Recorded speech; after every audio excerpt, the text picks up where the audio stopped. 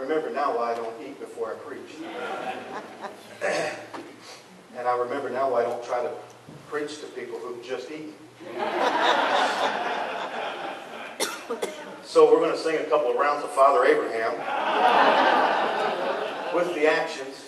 I was asking somebody a minute ago, I said, which one of these chairs are recliners?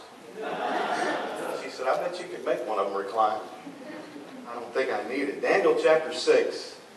Thank you, Brother Ron and Miss Brenda, again, for your gracious hospitality. And thank you most of all for y'all's friendship. You think about um, your theme, trusting God no matter what, even when it seems impossible.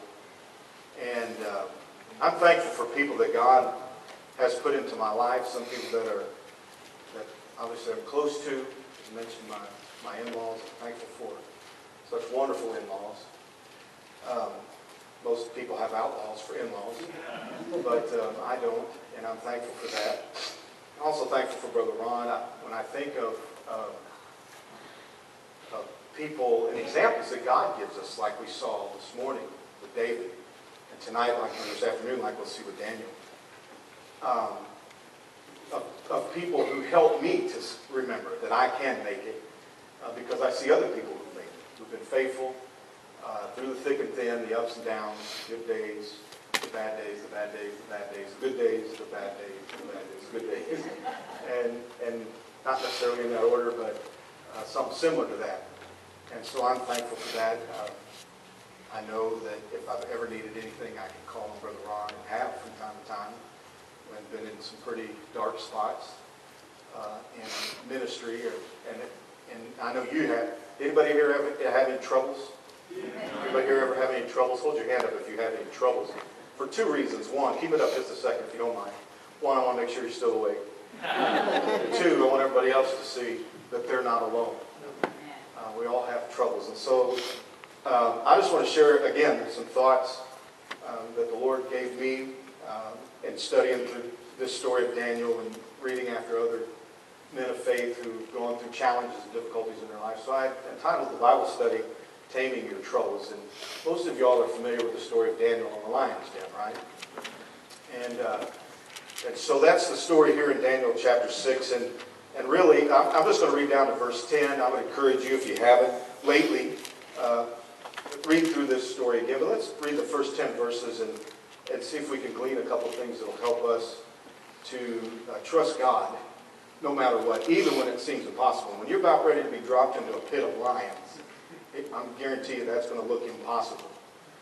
In verse 1, it says, It pleased Darius to set over the kingdom an 120 princes, which should be over the whole kingdom. And over these three presidents, of whom Daniel was first, that the princes might give accounts unto them, that the king should have no damage. Then this Daniel was preferred above the presidents and princes. And I have this underlined in my Bible, because an excellent spirit was in him. And by the way, you have that same spirit. Yeah. If you're born again, you have the Spirit of God and the person of the Holy Ghost, which is an excellent spirit. Which helps us to know that we can make it when it seems impossible. Verse 4 says, Then the presidents and the princes sought to find occasion against Daniel concerning this, concerning the kingdom, but they could find no occasion nor fault for as much as he was, what's the next word? Faithful. Neither was there any error or fault found in him. He was faithful. Then said these men, We shall not find any occasion against this Daniel, except we find it against him concerning the law of his God. Then the presidents and princes assembled together to the king and said thus unto him, King Darius, live forever. Buttering him up, of course.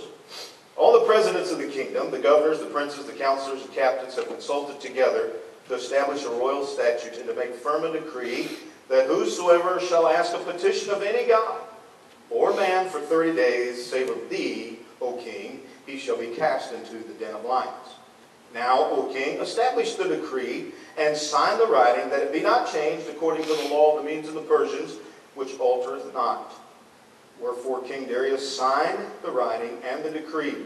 Now when Daniel knew that the writing was signed, that's an important phrase right there. When Daniel knew that the writing was signed, he went into his house, his windows being opened in his chamber toward Jerusalem, he kneeled upon his knees three times a day and prayed and gave thanks before his God. Notice this, as he did aforetime. And of course, you know the story. He does. They go back, they tattletale on Daniel, tell the king. The king's like, I can't believe what just happened. Daniel and the king were very close friends. And uh, he has to throw Daniel in a lion's den. It's the law of the Medes and Persians. It can't be changed. And so Daniel, knowing the decree was signed, decided that he was still going to remain faithful. See, the key in the Christian life, there's a lot of things that you and I cannot do. There's a lot of things that not everybody in here can do. But there's one thing that all of us can do, and that is to remain faithful. We could stay faithful to the Word of God. We could stay faithful to prayer. We could stay faithful to the reading of the Word of God. We could stay faithful to attendance to the house of God. We could stay faithful to giving out of the things that God has given us. It's the one thing that we all can do. But it's the one thing the devil's going to try to keep you from doing. He's going to try to keep you from being faithful. And there's going to be times when you think everybody and everything's against you. As a matter of fact, the, the presidents and the priests came to the king and they said, all the presidents in verse 7. Everybody. Well, that wasn't true because, you know, number one, Daniel wasn't in on it. Shadrach, Meshach, and Abednego, they weren't in on it. But isn't that how it usually goes? It's always exaggerated. And that's the way the devil wants us to think. We think everybody's against us and everything's against us. So how was it that Daniel, and here's the big takeaway, actually I'm going to give you the takeaway at the end, because this was the thing that really helped me through a moment in my life, in experience in ministry, that, that, that helped me to uh, determine that I was going to continue to stay faithful. And I'm going to give that to you after I give you about 27 points here. Well, there's several big points, about seven or eight, and then there's a lot of little points under it. But so uh, the more you say amen, the faster I'll go. I know you're, not everybody's asleep.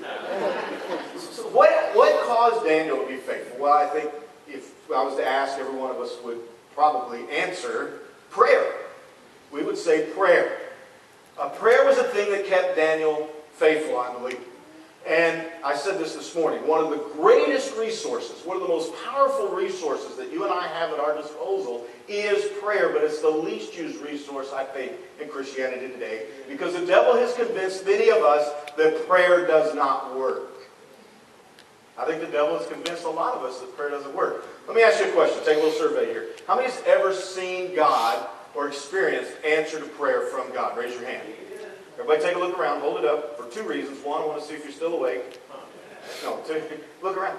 God has answered prayer. Thank you. And he still answers prayer. Where's Devin? Is this Devin right here? Devin just got saved a few days ago, a few weeks ago? A couple weeks ago. Congratulations, Devin. Good job. Eight years old. God's still saving people. If God's still saving people, he's still answering prayer. Amen? Because you got to pray to get saved. God answers prayer.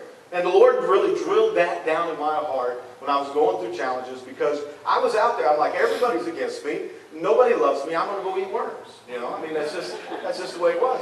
And but I came across this in a devotional time, and and that the Lord said Daniel is a man of prayer. So I want to give you some characteristics of Daniel's prayer.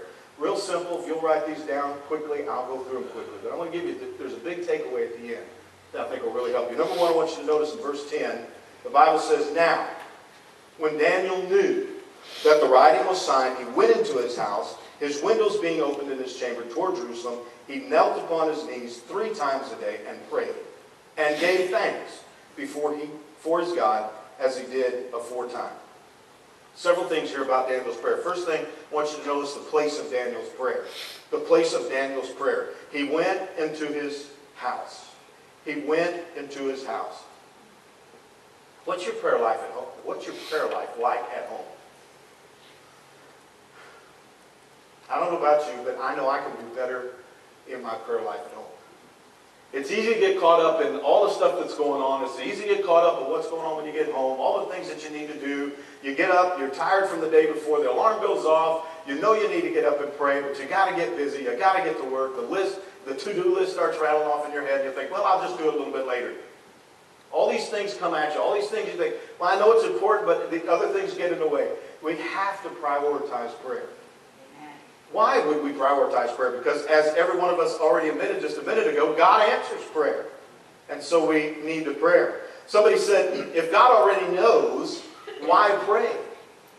If God already knows, why pray? They said this, God likes to hear your voice. You ever thought of that? God knows every one of us by name. He knows where we are. He knows what we're going through. But did it ever dawn on you that God likes to hear your voice? My wife likes to hear my voice, as long as it's not complaining. she likes to hear my voice when I'm praising her. She likes to hear my voice when we talk about different things. But she wants to hear my voice. It's not just enough for my presence to be there. She wants to hear my voice. And so Daniel went into his house and prayed.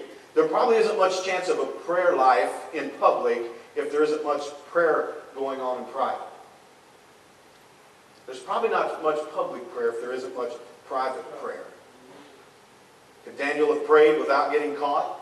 Could Daniel have still been faithful? Could he have still prayed to God every day? Could have went to his house, made sure, well, I better close the windows. I'll go into the, I'll turn the lights out. Uh, I'll get into a closet somewhere. I'm going to pray. I'm going to stay faithful but I'm just, I don't want to get caught. And uh, I, I, I'm guilty of that sometimes in a, in a restaurant. It, it seems like the time when I'm like, you know, I'm really going to pray. And I'm not going to be ashamed about praying out loud at the restaurant. But it seems like we always get set down next to a group of people that have a bunch of alcohol on the table and loud and boisterous. And I'm like, those, those people aren't saved. And that, man, if I start praying, they're going to start making fun of me. It seems like that's what happens. So I'm like, well, I'll just pray real quick. You know, I, I dropped my napkin on the floor there, Lord, thank you. he laughed because you can relate. Uh, maybe. Uh, no, Daniel was bold. It, the place of prayer. Listen, it begins at home. It begins at home. You know why? Because it was a conviction. Remember what I said this morning. We need to make sure that we affirm our convictions. Prayer is important. Prayer is something that needs to be prioritized. The second thing I want you to notice is the posture of Daniel's prayer. Not only the place, but the posture of his prayer. In verse 10, it says he knelt down upon his knees. You go through the Bible, there's a lot of kneeling when it comes to prayer. You say, well, do I have to kneel down to pray? No, there's just something empowering about us taking a specific action when we commit to do something.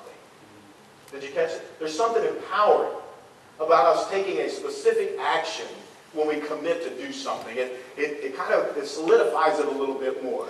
That's like that's why when you buy a car, they make you sign on the line. It's a commitment, and when you sign, it, it's empowering. It does. It's, it it kind of solidifies that in your heart, in your mind, in your life. So every time you, you take some kind of an action step, it helps to solidify. And kneeling down is something that helps us to solidify. And not only that, it helps us to humble ourselves. They say of missionary David Livingstone that when they found him, they found him dead on his knees. He had died while he was praying. Missionary Jim Elliot said, God is still on his throne and man is still on his footstool. There is only a knee's distance in between. Isn't that amazing? Listen to that again. God is still on his throne and man is still on his footstool. There's only a knee's distance in between. God's only a prayer away. The posture of Daniel's prayer. The third thing I notice in verse 10 is the priority of Daniel's prayer. I've kind of already alluded to that. But you'll notice there it says that he prayed how many times a day? Three times a day three times a day. You say, do I have to pray three times a day? No, but it's good. It, it's better than not praying. Amen? Three times a day. You, you say, what, what three times? Well, morning would be good. Amen? Start the day with prayer. Uh, prayer in the middle of the day helps. Kind of get you through the day. Prayer in the evening helps uh, get you through the night. Amen? The, the, the priority of prayer, three times. Three times. And it, I think what that does is helps us develop a habit. I remember being in college and, and uh, I think the guy was telling the story about another guy who would pray. They would call upon him to pray. And when he would begin his prayer, it was different than the way you and I oftentimes hear people begin their prayer. They'll begin their prayer by saying, Dear Heavenly Father, or Our Father which art in heaven, or, you know, Dear God of heaven. This guy, he would stand up when he was called upon to pray, and he'd say, And Lord, and then he would move on into his prayer. somebody asked him one time, so why do you begin your prayer, and Lord? He said, I'm not beginning my prayer, I'm just continuing my prayer. That's just where I started out loud. That's just the point of where I started out loud. He was in constant prayer. Pray without ceasing, the Bible says. Uh, can you pray while you're driving? Some of y'all need to pray while you're driving. But don't close your eyes. Uh, yeah, we could pray where it is being in a spirit of prayer, constantly in communion with the Lord, asking Him, what is my next step? What is my next response? How do I know I'm more like Christ? Here's a, here's a great test to, to ask a question to ask yourself. How do I know I'm more like Christ? How do you respond to life circumstances? Do you respond to life circumstances the same way Jesus did or something different? The, the more you respond to life the way Jesus did, the more you, you and I are like Christ. So the priority in Daniel's prayer. Then there was the praise in Daniel's prayer. Look, verse 10, it says he prayed three times a day and gave thanks. When I first went to Fort Worth to pastor, uh, I, uh, I got invited to a funeral. It was in like the first couple of weeks of one of the ladies in our church. And it was her uh, grandfather, I believe. And the preacher got up to preach, and he said, the Bible says that we're to give thanks in everything. And that's how he started it. And it kind of it kind of caught me by surprise. We're at a funeral, not quite the verse you start a funeral off with. I didn't think. He said, in everything give thanks. You know, he said it doesn't say for everything give thanks, but in everything give thanks. And we can. We can give thanks in everything because, as I mentioned this morning, we know that God is still on the throne. Jesus is still alive. Amen? The praise of Daniel's prayer in the face of persecution, in the face of suffering, in the face of challenges, in the face of difficulties, in the face, which he probably knew, certain death. Daniel still prayed and gave thanks. We should give God thanks for every opportunity that we have to be a witness for him. I mentioned 1 Thessalonians 5.17 says, pray without ceasing. Verse 18 says, in everything give thanks. Amen? Philippians 4 says, be careful for nothing. Be, be anxious for nothing. Uh, but in everything, by prayer and supplication, with thanksgiving, let your requests be made known unto God. Next thought in verse 10, the privilege of Daniel's prayer. You know, I'm glad this, this afternoon we don't just pray to anybody. Right. The privilege of Daniel's prayer is that we pray to a living, holy, righteous, just God. And he invites us to pray to him. Matter of fact, he says, the Bible says that we can come boldly before the throne of grace. We can go to him and ask. I was with a pastor the other day, and he invited, it's kind of a, uh, what we call a big-time preacher, you know, this busy schedule, preaches to thousands of people on the weekend. And he went right up to the guy, and he asked him if he would come preach at his church. And I was like, wow, I can't believe, I can't believe you asked that guy to come preach. What made you think you could get him to come? He said, well, the Bible says we have not because we ask not. I said, yeah, but you know who he, he goes, I don't know. Don't be afraid to ask big. That, that's the same thing with God. Don't be afraid to ask big. Because we serve a big God. Amen? We get to go to God. It's not just anybody. It is God that we get to go pray to. The persistence in Daniel's prayer, you'll see that he said, the last part of the verse says there, he prayed and gave thanks before his God as he did aforetime. This wasn't just the first time. This wasn't just when he was in deep trouble. Oh no, they've signed a decree. If we pray to God, we're going to get thrown in the lion's den. Man, we're in trouble here. We better run to God. No, this was something that was consistent throughout his life. Three times a day as he had done aforetime. Luke 17, 1 says, Men ought always to pray and not faint. Men ought always to pray and not faint. Go down to verse 22. I want you to notice this was after what God had gone through the night. They threw him in the lion's den. And the king, in verse 19, I'm sorry, verse 19, the king rose up very early in the morning and went in haste unto the den of the lions. And when he came to the den, he cried with a lamentable voice, Daniel, and the king spake and said to Daniel, O Daniel, servant of the living God, is thy God, whom thou servest continually, able to deliver thee from the lions? And I bet you the king took a deep breath and turned and cupped his ear to that den. I mean, it, just holding his breath. And he heard Daniel said, O king, live forever. My God has sent his angel and has shut the lions' mouths, that they have not hurt me. For as much as before him innocency was found in me, and also before thee, O king, have I done no hurt. Then was the king exceedingly glad for him and commanded that they should take Daniel up out of the den. So Daniel was taken up out of the den, and no manner of hurt was found upon him, because he believed his God. Trusting God no matter what. Trusting God when it seems impossible. Now, let me give you just a little personal takeaway out of this, and then we go take a nap. Except for you who have already taken one. You have to stay and help clean up. Here's the big takeaway. I read this story, and I read it a couple of times through. And Daniel was a man of prayer. He was a faithful man of prayer. Prayed three times a day, every day. As far as we know, every day of his life. He was just a man of prayer. Powerful prayer. But he gets thrown in the den of lions because he's faithfully praying to God. How many people have said, Man, I've been serving you all this time, and look what it's got me? That's where I was at. That's what I said to God. God, I've been pastoring now 15 years, been in ministry over 25 years. I've been serving you faithfully. I've been through the thick and the thin, the yuck and the muck, the ups and the downs, the hills, the valleys. And here we are in the middle of this, and why is this going on? So I'm reading this story and I think, why, and why has God brought me to this? With Travis, Brother Ron, you guys know when you're studying, you catch, you're running out there here and all of a sudden there's a little cross reference. You jump over this verse and all of a sudden you're consumed in that passage. You're like, how did I get over here? And then the Lord starts speaking to you in this passage. And that's what happened. So Daniel's a man of prayer. Obviously he prays all the time. The guys that set this up against him, the only way they knew they could get him is if they caught him in his prayer life. Somehow or another, they got to trip him up in his prayer life. But when you read this whole story, there's one thing, at least that I noticed, that's not there. Daniel gets thrown into the lion's den. He's there all night. The king is sleepless. He is just waiting till whatever first light is, I guess. Runs to the den. Daniel, are you still alive? And Daniel says, O king, live forever. I'm here. Everything's cool. Everything's cool. I've been sleeping all night with lions for pillows. Man, been down here petting the kitty cats. Life is good. Got them all named. Felix.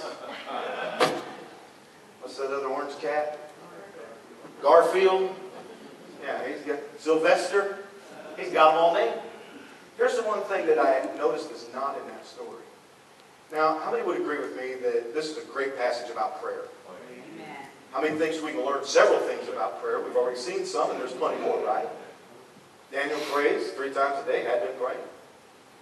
But you know, there's one time that I don't hear anything about Daniel praying. It's when he's in the lion's den.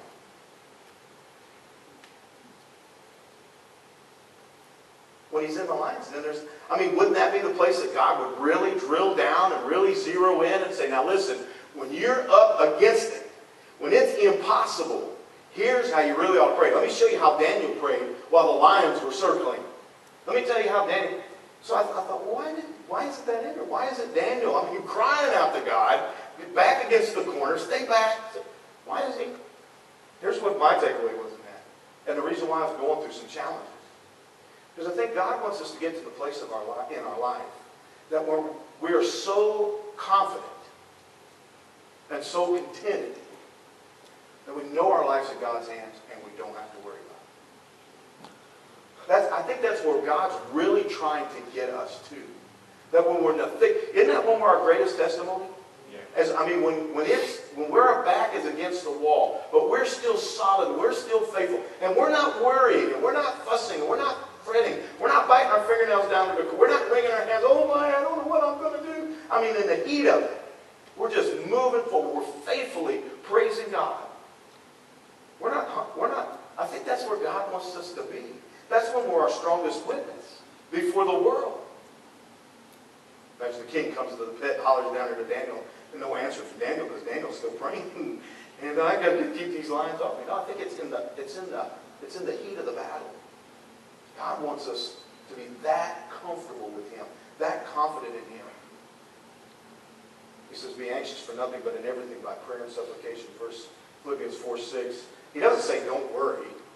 He knows we're going to worry. He, man, he knows us better than we know ourselves. He says, when you worry, pray. Real Christian, I believe maturity is when we're in the thick of it and we can focus on God. Full, undivided attention on God. And thanking Him. He wasn't praying in the end. You know why? Because he was prayed up all the way up to. Why was he able to go through the den without wringing his hands and pulling his hair out, biting his fingernails down to the quick? Because he prayed all the way up to it. And when he got to the tough time, he's like, God's got this. Not I got it. God's got it. How was he able to do that? Because Daniel prayed faithfully. And that's what I would challenge you with, is when you talk about and think about your theme, how to trust God no matter what, even when it seems impossible. What's the best way to get through that? Just keep on praying. God still answers prayer. Amen? God still answers prayer. Dear Father, we thank you for your mercy, your love, and your grace. We're thankful this afternoon to be reminded once again from your word, you are a God-hearing, God-answering prayer. Uh, prayer answering. Prayer hearing God. Lord, I pray that we would be more committed than ever before to pray, to seek your face, to ask, to trust in you, and live in such a way that others can see Christ in us. We ask all of this in Jesus' name. Amen.